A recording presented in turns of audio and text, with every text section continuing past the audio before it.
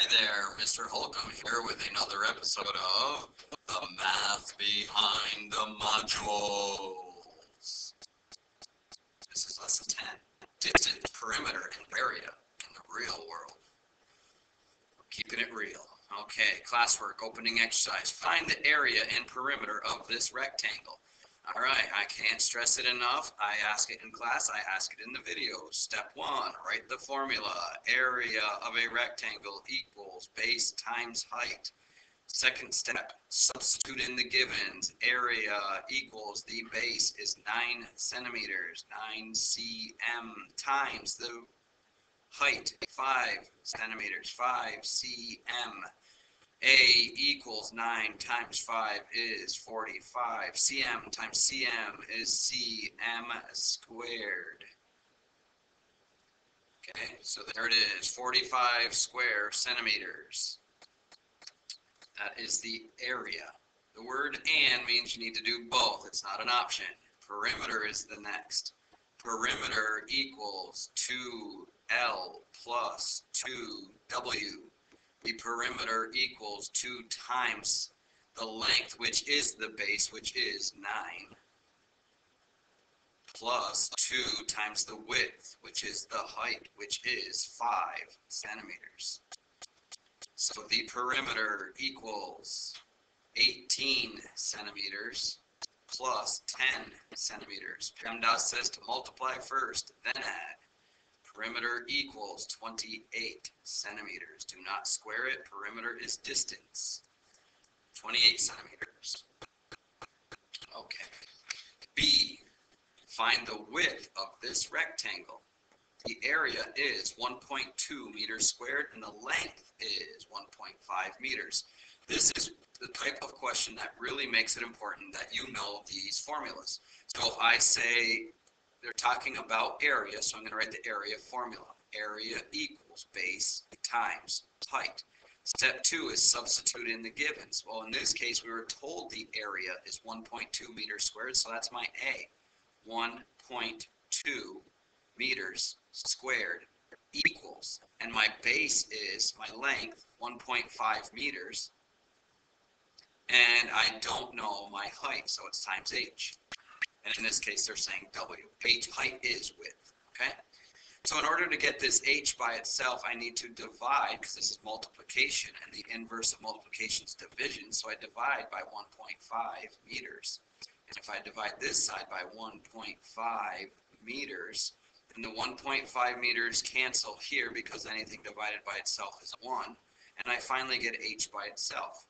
Meters squared divided by meters will cancel one meter and I get a meters as a unit of measurement and 1.2 divided by 1.5 is Okay, so here's my calculator, 1.2 divided by 1.5, drum roll please, 0.8. So it is 0.8 meters high. And if you want to put a zero in the ones position, 0.8 meters high. All right, so there we go. All right, now it says example, student desks or tables. Measure the dimensions of the top of your desk. How do you find the area of the top of your desk? How do you find the perimeter? Record these on your paper in the appropriate column. So I will measure a desk and I'll let you know what our desk's measurements are in. Okay, so I just measured our desks and let me get my magic pen and I will draw a desk. Okay, there's my desk. And I measured this to be 24 inches. And this is 18 inches. So it's two feet by one and a half feet. So there is the dimensions of the desk in my classroom. So once I measure the dimensions, there it is, measure the dimensions of the top of your desk. There's number one. How do you find the area of the top of your desk? Well, the area equals the base times the height. And how do you find the perimeter? Well, perimeter equals 2L plus 2W. Record these on your paper in the appropriate column. So there must be a paper back here. Ah, desktop. Okay, measurement unit, feet. Measure to the nearest half foot is good. And area prediction, square units. Okay, so this is a prediction. Um, well, if I looked at this desk, I might say three feet squared. That might be a little much, but we'll see. So area, square units, write an expression and evaluate it. Okay, so if I go back here, if we're going to do it in feet, then I'm going to change these from 24 inches and 18 inches to 2 feet and 1.5 feet. Okay, so now when I do this area, then it's going to be 2 feet by 1.5 feet. The perimeter would be perimeter prediction. Well, let's see, if I think that's two, four, I don't know, maybe seven feet would be my prediction. And then the perimeter linear units. So once I calculate this, I'll come back to that in a moment. I'm just going to do the perimeter here first. Notice how they have the two factored out. That is the same as saying P equals 2L plus 2W. Actually, I've got it written over here. No sense to write it again.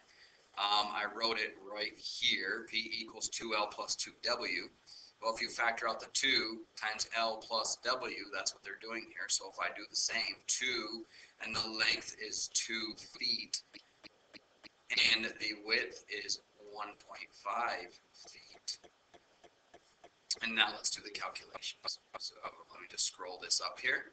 And 2 feet times 1.5 feet is 5 times 2 is 10. Carry the 1. 2 times 1 is 2 plus 1 is 3.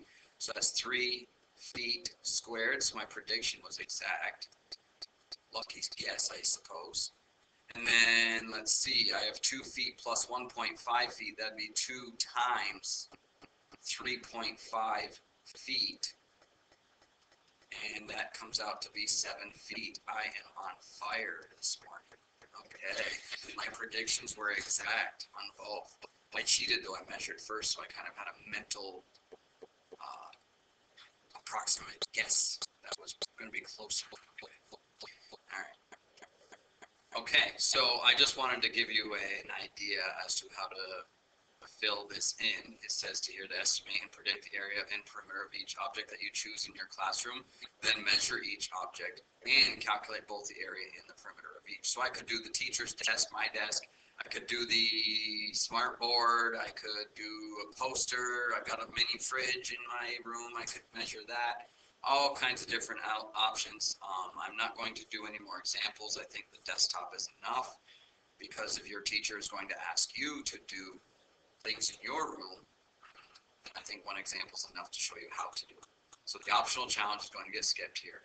And that is a quick lesson. That is the end of lesson 10. Go do your problem set. And oh, by the way, smash the like.